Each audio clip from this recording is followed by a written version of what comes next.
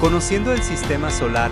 la astronomía nos dice que el sistema solar está localizado a 28.000 años luz del centro de nuestra galaxia, la Vía Láctea, y se originó hace 4.500 millones de años por el colapso gravitatorio de una nube molecular. La mayor parte de la masa de esta nube se concentró en la región central formando el Sol y de material restante se formaron los planetas y demás cuerpos que orbitan alrededor de nuestra estrella principal.